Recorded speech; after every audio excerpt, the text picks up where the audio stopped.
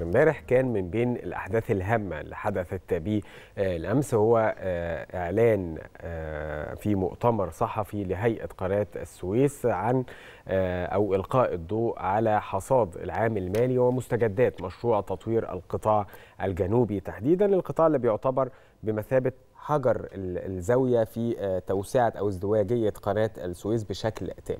بكل تأكيد يا أحمد والحقيقة إنه تم الإعلان عن إحصائية الملاحة بالقناة خلال العام المالي 2022 2023 واللي سجلت ارقام قياسيه جديده وغير مسبوقه على مدار تاريخ القناة. خلينا نتعرف عن تفاصيل أكتر من سيادة الفريق أسامة ربيع رئيس هيئة قناة السويس. صباح الخير على حضرتك يا فندم منورنا في صباح الخير يا مصر. أهلا بيك يا فندم كل سنة وأنتم طيبين أهلا وسهلا. وحضرتك بخير يا فندم. طيب سيادة الفريق في البداية لو حضرتك تطلعنا عن أبرز ما تم إعلانه من خلال هذا المؤتمر الصحفي بالنتائج. طبعا أبرز ما فيه إن هو الأرقام اللي إحنا حققناها السنة دي السنة المالية 22 23 نعم حققنا الحمد لله رقم قياسي ما اتحققش قبل كده 9 مليار و400 مليون دولار. السنة اللي فاتت كنا 8 مليار. يعني إحنا زايدين حوالي 35% عن السنة اللي فاتت. نعم. عدد السفن اللي عبر قناة السويس السنة السنة دي برضو 25887 سفينة. والسنة اللي فاتت كان 23800 يعني زياده عن 2000 سفينة عن السنة اللي فاتت. دي أرقام طبعا تعتبر أرقام قياسية. غير يعني مسبوق بالسهوله إن هي تتحقق بالأسلوب ده يعني. يبقى 35% زيادة في سنة واحدة في الإيراد الحمد لله رب العالمين يعني. الحمد لله. طيب سيادة الفريق يعني امبارح يمكن أيضا حضرتك تحدثت بإستفاضة عن مشروع تطوير القطاع الجنوبي من قناة السويس تحديدا. إزاي القطاع الجنوبي ده هيحافظ على التدفق الآمن والتدفق المستمر للسفن اللي بتعبر قناة السويس؟ تحديدا وإحنا بنتكلم كمان على 12% من إجمالي حجم التجارة الدولية يعني. تمام يا فندم. طبعا هو إحنا بنتكلم على الأمان الملاحي. يمكن الأباطين لما إحنا صورنا معاهم اتكلموا برضه على كل كان كل همهم الامان الملاحي وهو بيعبر في الجزء ده اللي هم 30 كيلو اللي كيلو 132 للكيلو 162 نعم. وده جزء صعب جدا في قناة السويس للجزء الجنوبي ده واللي حصلت فيه حتى الحادثة بتاعت إيفر جيفن سنة 21 فاحنا لما عملنا عمليه التطوير ده إن إحنا نيجي في الجزء ده 30 كيلو نعمل توسعة لجهه الشرق 40 متر وبنعمل تعميق من 66 قدم ب 72 قدم يعني من 27 متر من 24 متر ل 27 متر. ده هيحقق الامان الملاحي بنسبة تزيد على ال 28% حدود 30% م. لأن القطاع ده مشكلته إن هو اولا فيه انحناءات كتير قوي والتيارات المائية اللي جاية من الجنوب من مدخل السويس بتأثر على دفه المركب وهي داخلة وبالتالي بتخليها تتجه لجهة اليمين أو اليسار بدون ما يعرف يسيطر عليها. نعم. آه والمناورة فيها ضيقة لأن العرض كمان آه قليل في حدود 250 متر. فإحنا لما فكرنا المشروع المشروع كان أساسا كان موجود يعني طلعناه وقلنا بقى ندرسه عدلنا فيه طبعا لأنه كان معمول من زمان. وعدلنا فيه وحسبنا الحساب بتاعتنا والمعادلات إن إحنا هنعمل قد إيه معادله إن هي تحقق الامان الملاحي اللي هو إن إحنا بنزيد المساحة المائية في المكان دون فطلعت دي بنسبة 28% فطبعا إحنا بنقدم خدمة للمراكب وللاباطين إن أنت تبقى برضه في المكان دون وأنت ما إن شاء الله ما بيبقاش في حادثة ما بيبقاش في حاجة يعني بنقلل نسبة الحوادث كمان في هذا المكان. علاوه بقى على في 10 كيلو كمان اللي هم في البحيرات المرة الصغرى ده من ضمن برضو التطوير القطاع الجنوبي. آه ده في الكيلو 122 للكيلو 132 ودول إحنا بنعمل فيهم هو العرض الممر في الحتة دي 250 متر برضو إحنا بنعمل 250 متر زمان يعني ازدواج. تبقى قناة السويس جديدة يعني 10 كيلو. تضاف لقناة السويس الجديده اللي هي 72 و 82 يعني بنسبة زيادة برضو حوالي 17%. طب ده هيفيدنا في إيه؟ هيفيدنا إن أنا أقدر أزود عدد السفن داخل الممر الملاحي أو داخل قناة السويس بنسبة من 6 ل 8 سفينة يبقوا موجودين. وده إحنا محتاجين دلوقتي لأن عدد السفن زاد قوي وبالتالي انت مش عايز تعمل عملية انتظار تاني زي ما كان في انتظار فعايز تزود عدد السفن الموجودة في القناة. ده المختصر يعني مشروع القطاع الجنوبي اللي هو ال 40 كيلو دول. نعم. طيب سياده الفريق أيضا من ضمن التساؤلات المهمة هل هيتم إيقاف المجرى الملاحي لقناة السويس خلال تطوير القطاع الجنوبي؟ لا طبعا إحنا شغالين بقالنا سنتين. ده هو اساسنا إحنا لما كنا عرضنا سيادة الرئيس قال لي أهم حاجة قطاع الجنوب الملاحة في القناة ما تقفش. قلت له ولا ثانية. إحنا الأول بنشغل يعني المراكب كلها بتعبر المجرى الملاحي وبعد كده بنبدأ نشتغل. يمكن ده اللي طول المدة شوية. آه طبعا بيحتاج مجهود أكبر. طب لو حضرتك تطلعنا يا سيادة الفريق إزاي بيتم العمل بالتوازي مع تطوير القطاع الجنوبي؟ ما هو ده يعني يعني إن المراكب بتعبر الأول وبعد كده تخش الكراكات يعني بعد ما يخلص المجرى الملاحي خالص تخش كراكات تشتغل في اللي إحنا بنعمله اللي هو التكريك أو التعميق. التدبيش اللي من على الجنب اللي إحنا بنعمله ده ما فيهوش مشكلة بالنسبة للمجرى بتاعنا نعم. وبالتالي إحنا ما بنشتغلش في اليوم أكتر من ست ساعات أو ثمان ساعات بكتير قوي. عشان كده يعني اليوم بتاعنا إحنا كله ست ساعات أو ثمان ساعات بنشتغل حسب بالليل دايما بعد الساعة 2 بعد ال- الكونفوي ما يعدي خالص نبدأ إحنا آه، نشتغل. نعم. فعشان كده دي المدة بالطول عشان كده. اولا لازم لازم أمن الأول بنتكلم في مدة سنتين وست شهور يا سيادة الفريق. آه إحنا اتكلمنا إحنا اللي إحنا كنا مصدقين بيه من سيادة الرئيس إن إحنا سنتين وست شهور احتياطي. هنحتاج الست شهور احتياطي وأنا استأذنت من سيادة الرئيس إن إحنا هنحتاج الست شهور وسيادته صدق لي يعني فإن شاء الله هنخلص آخر السنة بإذن الله. إن شاء الله. طيب يمكن كان اللافت للنظر أيضا يعني إحنا بنتكلم على توسعة وتعميق. بنتكلم على التعميق من 66 قدم ل 76 آه، قدم آه، تحديدا. لكن كان الملفت للنظر في إعلان سيادتك بالامس أثناء المؤتمر الصحفي إن آه، الكراكات اللي بتعمل في هذه الخطة أو هذا آه، المشروع القومي الجديد بقناة السويس هي كراكات مصرية 100% وبأيادي مصرية 100% لتوفير العملة الصعبة. ده يحصل إزاي؟ آه طبعا. هو ده برضو كان من ضمن يعني إحنا هل عندنا هذا الكم من الإمكانيات؟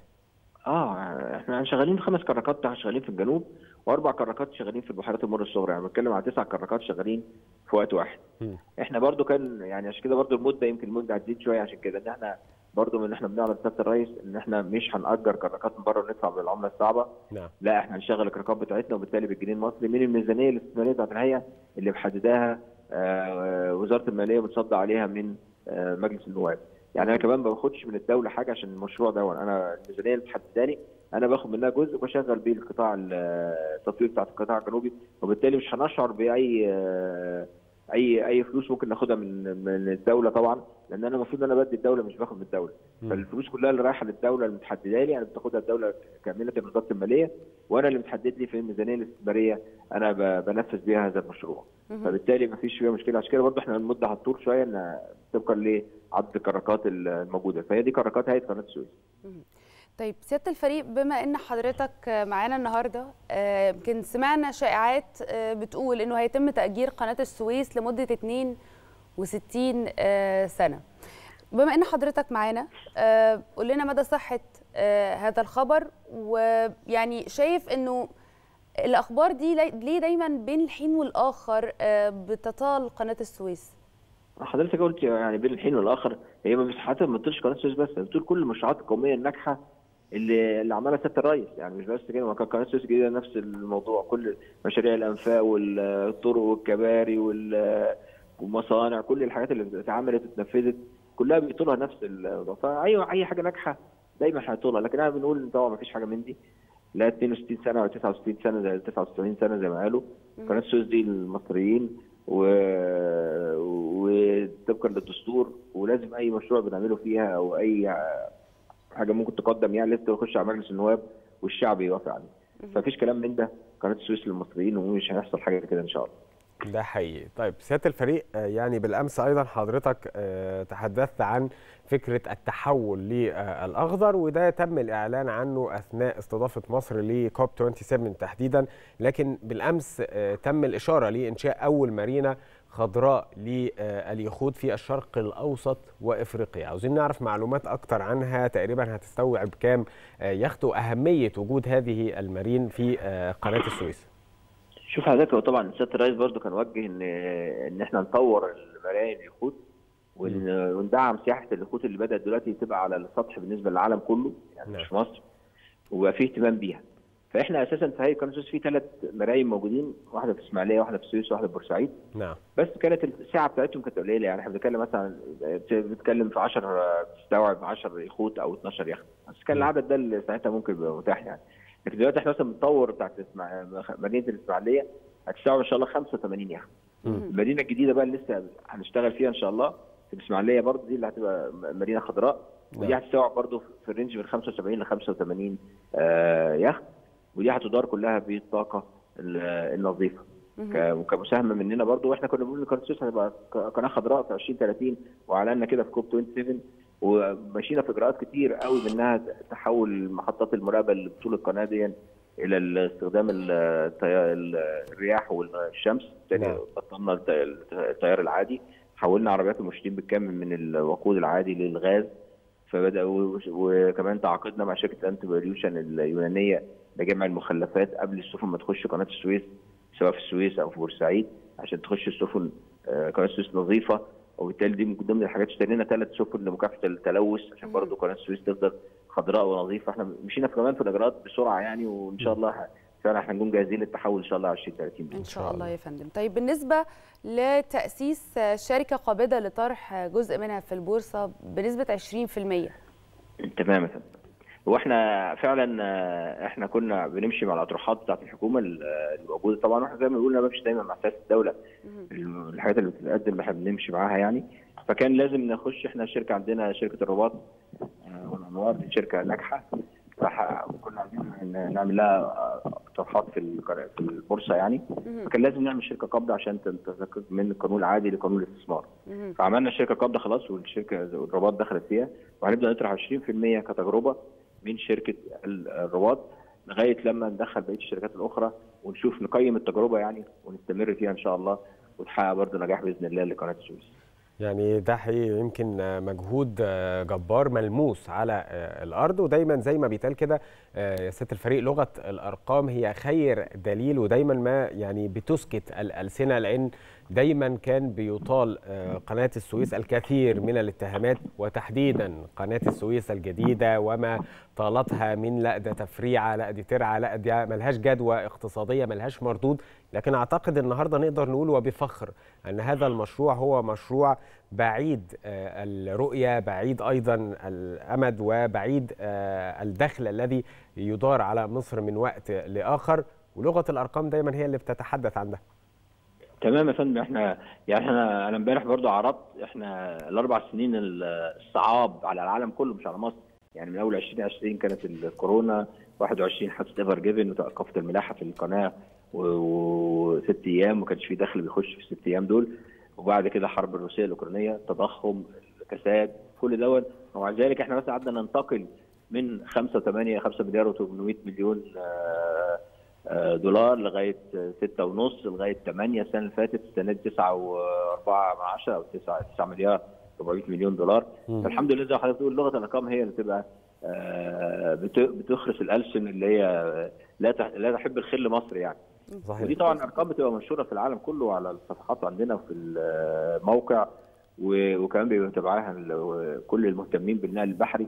يعني ما نقدرش كمان إحنا يعني اللي حاسبينها مظبوط لأن هم بيبقوا حاسبين معانا مش بس يعني مش بنقول أرقام هم أي حد بيصدق عليها لا ده أرقام محسوبة بعد وأعتقد هيبقى في عوائد تانية من الأطروحات اللي هتحصل في البورصة اللي حضرتك تحدثت عنها يعني. طبعا طبعا طبعا في أطروحات أخرى ومبالغ أخرى بتضاف مع التعاون مع الشركات كل ده إحنا طيب يا فندم عشان يعني نوضح النقطة دي تحديدا لأنه يعني عشان نبعد عن أي لغط وأي حد ممكن يستغل الخبر ده في ترويج أي شائعة أو إحداث أي يعني إيه بلبلة زي ما إحنا بنشوف دايما على ال social media. فخلينا نعرف من حضرتك ونفهم بالظبط أهمية هذه النقطة تحديدا. فكرة تأسيس شركة قابضة لطرح جزء من قناة السويس بنسبة 20% في البورصة. خلينا نفهم لا هي مش طرح استاذه حضرتك مش طرح جزء من قناة السويس دي شركة. نعم بكل تأكيد من شركة. آه 20% نعم. من شركة. نعم من نعم بكل شركة تأكيد. من شركات قناة السويس نعم بكل آه تأكيد. تمام تمام تمام.